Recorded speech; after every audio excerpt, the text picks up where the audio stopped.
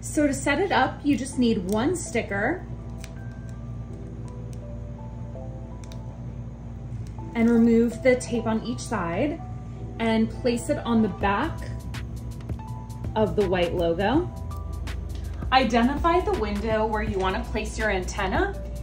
Window is best placement, but you can also bring it behind the TV, on your table, or wherever works best for your setup. Once you've installed the antenna to the window or wall where you're keeping it, you want to take the coaxial cable and put it into the amplifier. Now that you have the amplifier attached, you want to put this cable directly into your TV. Lastly, plugging the power source either directly into the TV or into the power adapter.